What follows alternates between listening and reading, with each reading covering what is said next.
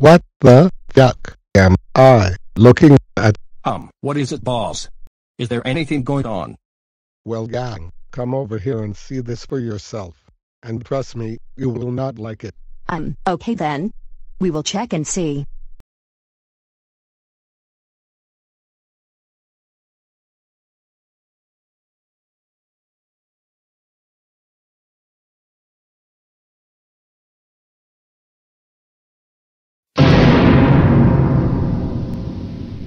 What?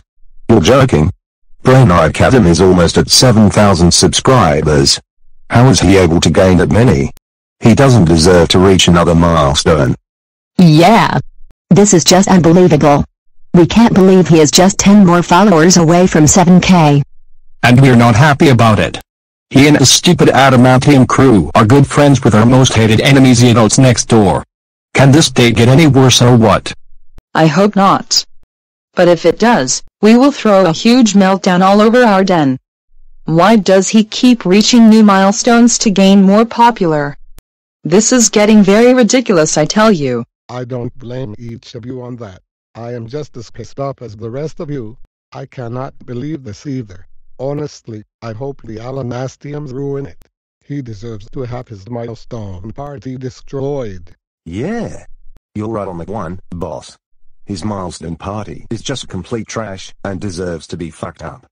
Ever since we first heard about him, we already hated him because he supports other heroic groups that I can't mention. I just hope he loses more subscribers or something. That's what he will get for disliking every villain out there.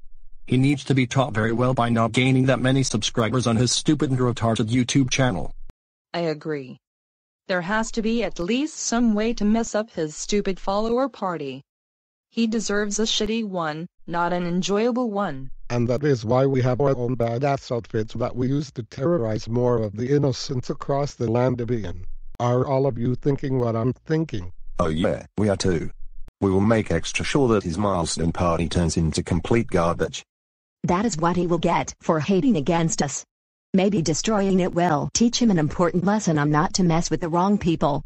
If no other villain will ruin it, then we'll do it instead. It will be so much fun upsetting the shit out of him. Speaking of upsetting the shit out of him, I hope he also whines and cries like a little baby he really is. It would be so funny seeing him cry like a freaking two-year-old. Well, screw the explaining. Come on, teenagers next door. Let's transform into our badass looks and get the fun party started. Feel logic activate. activate. Activate.